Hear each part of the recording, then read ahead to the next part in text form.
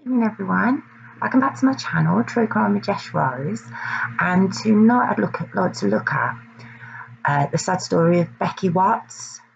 This goes back to 2015. And this features on two shows. It's an ITV, I think it's a one-off, which is The Murder of Becky Watts, the police tapes. And it's also on Faking It Tears for Crime. So Becky Watts, she lives at home with her dad Darren and her stepmother Angie. Now, Angie's been in Becky's life since she was two, uh, so, you know, a close family. Angie's also got a son called Nathan. Now, um, in 2015, Becky would have been 16 and Nathan was 28. Uh, doesn't live with them. Um, he actually lives about a mile away with his girlfriend Shauna Hoare and Shauna's 21. And basically, Becky just goes missing. On the 20th of February 2015, she just vanishes into thin air. And her stepmom and her dad are obviously frantic, like, where's this girl gone?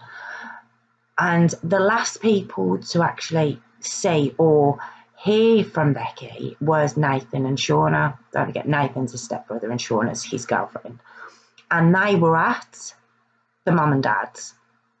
And they said that they heard who could only have been Becky, she was the only person in the house at the time, come down the stairs and go out and slam the door behind her. And that was that was all they said when, you know, Angie and Darren got home, you know, oh she's gone out. So Becky doesn't come back. Angie and Darren are frantic. You know, Nathan and Shauna go home and, you know, they're, they're getting really stressed.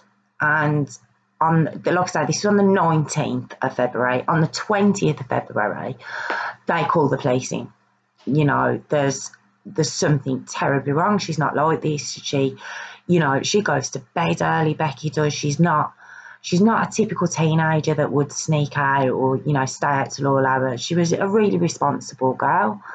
And so they bring in a detective by the name of richard o'coney and he says straight away he the alarm bells rang you know because a lot of teenagers do go missing their bros with the parents or they want to go meet someone of the opposite sex. And they do go missing and they do you know turn up the next day and but one thing with teenagers now and also in 2015 is their social media. They're always on there, whether it be Facebook, Snapchat, WhatsApp, whatever, you know. And all her social media had stopped. All of it completely stopped on the 19th of February. So they knew that was, you know, out of the ordinary anyway. Her laptop was still in her bedroom. You know, her phone was there. There was she took nothing with her, which for a 16 year old girl, especially Becky, she was quite popular. Everyone knew, her friends knew, you know, this isn't like her. And, you know, they they started panicking quite quickly, you know, where where's this girl gone? So they hold a press conference with Darren, uh, Becky's dad, and Pat Watts, who's her grandmother. And appealing, you know, for Becky to come home or if anyone's seen her or possibly her. So, you know, please let them, you know, a real heart-rending press conference. So on the 25th of February, the police, you know, in all the stories I've done, you notice that they always start from the family and work out. So they bring all the family members in all her friends in. And look, Sam, these programs, you see the interviews, especially on the ITV one, the police tapes one, you see the interviews with her friends and her family, you know, and how distraught they are. And, you know, they, they, they just want to help. They just want to help to get this girl home. But the two people who actually were the last ones to see her are the hardest to get hold of, and that's Nathan and Shauna. You know, they have the police have real trouble getting them in to be, you know, just to be just to be questioned, just to see if they know anything more. And eventually they get them in. And they're quite they're quite cocky when they're talk they're quite you know, she's you know, you see her on there, she's laughing. She's laughing when she's being questioned. She's it could be like she's talking about the weather or you know having a chat with someone that she worked you know it's it's not it, it doesn't come across in when you're watching the interview that she's being questioned over this missing 16 year old girl her boyfriend's little sister in effect. You know she's been in that family since she was two. She's his little sister. And his interviews are saying very like back, you know, quite cocky, you know, oh, you know, she went out, you know, she's in a bit of a strap and she left. You know, all very, very questionable. And what was really questionable that the detectives and the interviewing team started to notice was their story fitted together very, very, very well. Um, and what I mean by that is they were saying that even the most credible witnesses and the most honest witnesses sometimes their stories differ from you know different people's point of view and theirs didn't theirs didn't sway from the truth well from their version of the truth whatsoever it just beat it together a little bit too too well. So they they had their eyes on these two from there. They knew something. They weren't giving something away. So the forensics team during this time have gone into Becky's house and obviously check looking at a room, you know, see if they can find anything. And there's very small, uh, the detective explains, not visible to the naked eye, but you know, the forensics team, they've got all the stuff and they find three blood spots on the door frame of Becky's bedroom. And they also find a fingerprint within those blood spots. So they have to send that off straight away, you know, find out who the fingerprint is and also whose blood it is. And in the meantime, they're still searching. You know, they still have got this girl as a missing girl. They want to bring her back alive. You know, they're, they're questioning these two, but they're, you know, they're hoping for the best. They really are. And at this moment, it's still a missing persons case.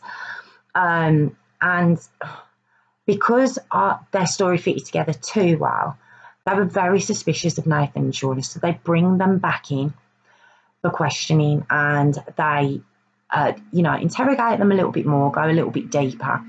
And it turns out that Nathan doesn't like Becky. He doesn't think she, he, she shows his mom enough respect. You know, there's no real love lost between them. Well, while Nathan's and Shauna are in for questioning, the DNA, uh, the DNA or the fingerprint um, is proven to be his, it comes back that that's actually Nathan's fingerprint in the blood. Now, they still don't know exactly who the blood belongs to, but the fingerprint is definitely him. They don't tell him, they don't tell him they know that, but they, you know, they're, they're, they're, they're pretty sure now something very untoward has gone on in that house. Then the DNA results come back and it's Becky's blood. His fingerprint has been found in Becky's blood outside Becky's bedroom. So they arrest them both. They arrest them both, and that's on the 28th of February. Bring them both in. And now they've got um, right to uh, search their house because Nathan and Shauna lived about a mile away from Becky and Becky's mom and dad. But they, Shauna especially, still seemed very confident, very labour. And like I say, I'm saying this from watching it. You know, if you watch either show, she's very jovial. She's, you know, it, again, it gives them away because that's not a normal reaction to what's going on at all. If even if you're not involved, why would you be sat there laughing and joking with the police team or trying to make light of the situation? It doesn't make sense. And, you know, they don't change their story, you know, stick 100% to it. And at this point, although the police know they're involved, they're hoping desperately that Becky's alive. They're still holding on so the, they're going to get this girl back alive. So, you know, they still have got it down as a missing persons case. They're still searching. So, like I say, they are searching their home and at that point start to because Nathan's very controlling, and up until that point, he'd been controlling all these police interviews. Well, they turned tables on him then. They already know the fingerprint was his, they already know the blood was Becky's.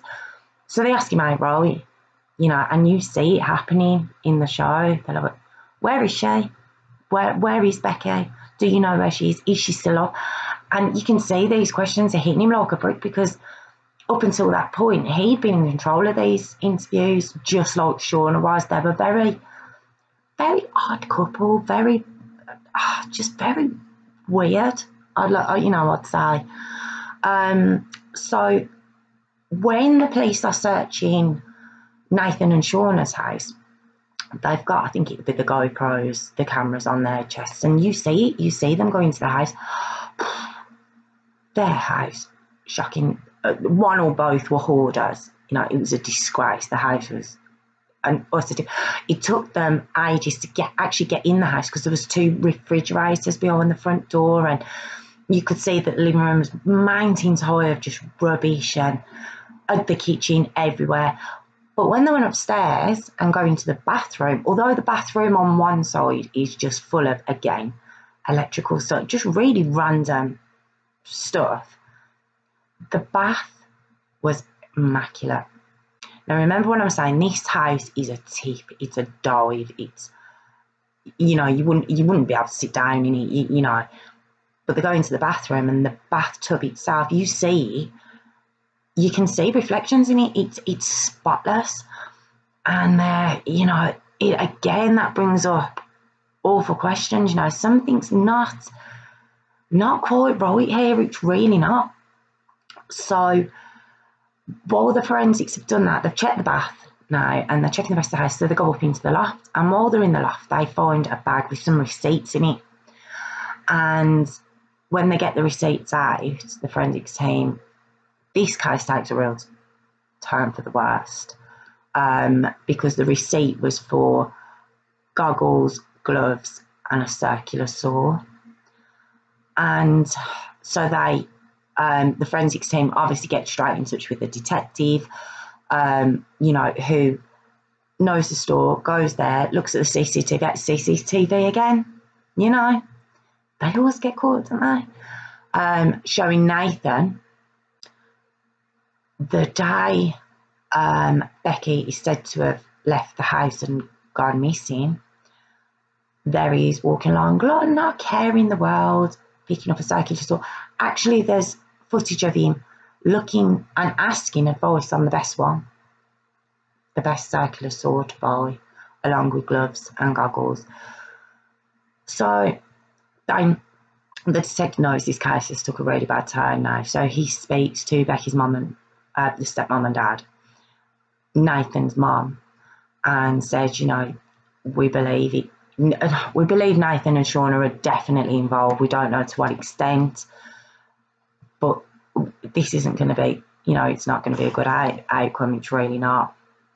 So at this point, Shauna's still lying through her teeth. She's claiming she's sticking to that story. When they were in the house, she went outside for a cigarette. She come back in. She had the door slam you know, it was to a T every single time, you know, but she was very, very cold. She was very, very cold. And Kerry Daynes, who is a profiler on the show Faking It Tears of a Crime, she actually calls her kind of a Lady Macbeth.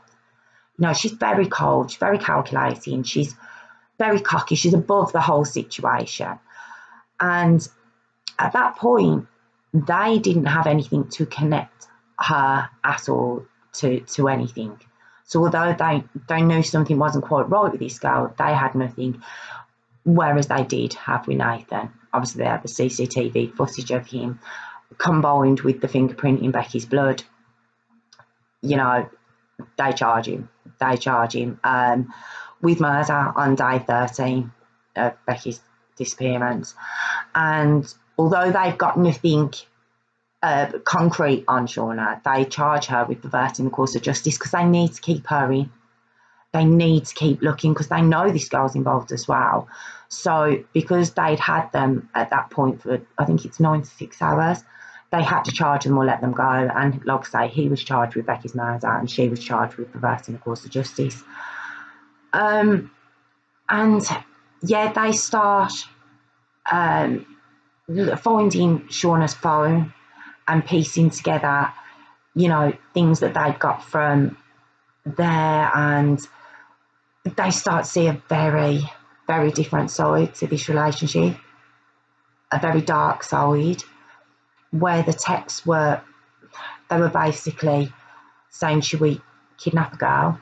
Let's kidnap a young girl and we'll keep her as, keep her in the house locked up. And just very sexual, perverted text messages, you know, between 28 year old man and 21 year old girl, you know, and she actually sends a text to Nathan at one point saying, oh, I've just passed this cute, petite little girl. I wish I'd have knocked her out and dragged her home. So, yeah, you know, really twisted kind of text messages to each other. So they've got these.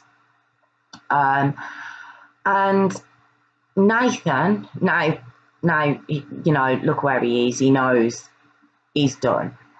He makes a prepared statement, Nathan does. Now, don't forget, up until this point, they both claim she left the house, they know nothing of it. Nathan of knows the end's coming now with the evidence they're collecting. He doesn't know about the text messages yet, neither does Shauna, but he knows, you know, the net's are closing in, so he makes a prepared statement. Now, in that statement, you see, see on the show, he doesn't want to hear it played back to him or spoken back to him. So he puts his hands in his ears, like a, like a child, like a child. So he can't hear his own statement that he prepares read back to him. And in the statement, what he says is that he wanted Becky to show his mum more appreciation. You know, it's Becky's stepmom. He said she was spoiled, she wasn't a nice person, she treated his mum like rubbish. And what he wanted to do was scare her, scare her into appreciating her life. So his plan was to kidnap her, scare, obviously wear a mask, scare her, you know, get her to appreciate the life she's got. And as he got into her bedroom and uh, kind of tried to grab her, she's pulled at his mask, seen who he is, he's panicked, and he strangled her. That's honestly what he says. Now, even his own mum didn't believe him. Even she didn't believe him. And bearing in mind they've got these text messages, no one believes that. But one thing he's very adamant at is that Shauna knew nothing. He is adamant this girl knew nothing about it. She's completely innocent. You know, she was no part to this whatsoever. Um, so, yeah, he just basically says it's um, a complete accident. He's done what he's done. And then, bearing in mind Sean and I part of it, then he he carries her into the bathroom. Very, very like the uh, Lindsay Quall story. Brings her into the bathroom and cuts her up he dismembers his sister in the bath. Very low at the Gemma McCluskey story. I mean, there's no possible other answer. There's nothing else you can think of doing. Absolutely nothing. There's you can't phone the police and give them that story. You can't try and phone an ambulance see if there's any. No. First thing these people think, I'm going to cut them up. So he tells the police he dismembers her. He puts up. now, one thing about Becky, she was tiny. She was very, very similar to these other cases as well. Very petite, brunette, much lower than I would describe in the text messages. Um, and uh, yeah, puts her into bags, suitcases, and he puts them in his friend's, who lives a few doors down, shed, in the bread shed, friend's shed. That's where he puts his sister, and then give. He, I can't even say he gave the impression of the distraught brother because he didn't. He didn't from the get go. He might as well have just told them from the beginning. So they find Becky, obviously, and the mum and dad do get to see her. And they said the police tried their best to, you know, cover up just so they could say goodbye. But the dad, it's heartbreaking to watch. The dad does say that they could tell where he decapitated her. I mean, that's his stepson. That's his wife's son who's done that to his daughter. I mean, You, oh, no words, no words, no words. But the police themselves, um, they just don't buy this story. They don't. They they don't buy that he did this alone. There's not. It, it, it's not feasible. It's not feasible that this it, she couldn't known. So when they've found Becky and obviously the suitcases, there are face masks in these suitcases. And guess whose DNA is on one of the face masks? Shauna Hoare's, obviously. And um, I think she's got some DNA on Becky as well. Straight away. She was in. Charged with murder straight away. Which I think they were relieved at and you, you, can't blame them. You know, this girl was so cocky. She was so. There was actually a bit where they say, um, you know, something like, "How can you prove you weren't part of this?" Or because she's, and they ask her, you know, when did you know what you did to Becky? And she goes, "I only found out when you did." And how how can you prove that you weren't part of it? But there's no proof, is there? There's no DNA. There's no forensics to put me there. That's how cocky she was. You, after watching it and after watching her interview, you're so glad they get her. You're so glad. So they're both charged with the murder, a sexually motivated murder of Becky. And they basically, uh, yeah, they're both charged. Nathan is found guilty of murder. He gets life with a minimum of 33 years. So, I mean, he'll be older. He'll be, you know, he'll be older, but will he serve that? That's little sister. Again, a little sister. Shauna was found guilty of manslaughter. Now, they they found no proof to say that she was there when he actually killed Becky. You know, they now believe that he did go into the room um, but not with the intention of scaring her or this whole pretense that he put on. He went in to subdue her, and they were going to kidnap her and bring her back to their house, and God knows what they'd have done. I believe that they say he has mixed. Look, I'm faking it tears of crime. You've got the listener, and she says he mixes the truth with lies. He does, and uh, they think that she did pull his mask down obviously recognised who he was, and he strangled her there and then. But it what he was making out that wasn't planned; it was all planned. But Shauna herself then got involved after the fact, and you know brought her back to their house into the bathroom. You know, helped dismember her, helped get rid of her. You know, she was sixteen. She'd done nothing. She'd done nothing. He'd known her since she was two you know, the he was you know he was twelve years older. You know, he'd known her. It's just awful. It's just awful. And she was found guilty of manslaughter because, like I say, she didn't actually take part in the murder as as such, but she was involved in everything else, the cleanup afterwards, and she got 17 years. She, you know, everyone on both shows has made it clear that they believe she was the the power behind this. Like I the Lady Macbeth, as Kerry Daynes says, it she was she was the main person behind it. she should have got the sign. She should have got the sign. 100% believe that. Um, the only kind of not nice, I don't know how to word it, but Darren and Angie, Becky's stepmom and her dad, have remained together. They are together. They you know, and she never she never tried to defend her son, not once. She, to be honest, said even the story made of the kidnapping, she says it's a lie. You know, obviously a mum will know her son, and rather than choosing to defend him blindly, she ha- she because she she'd been Becky's mum since she was two, you know, and Darren was a you know Becky's dad was her husband, you know, and they are still together and I, th- I think that's really nice, four years on, you know, that they've had each other to get through that time. I think that's, you know, at least they didn't destroy that as well. Um, but yeah, that's the story of Becky Watts. Uh, what is it with brothers and the dismembering, dismembering and not clocking that CCTV is everywhere. What is wrong with these people?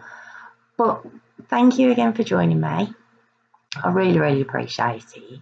Um, I'll pop a link in the box and you can see the two that I'm talking about. Weird, weird looking couple.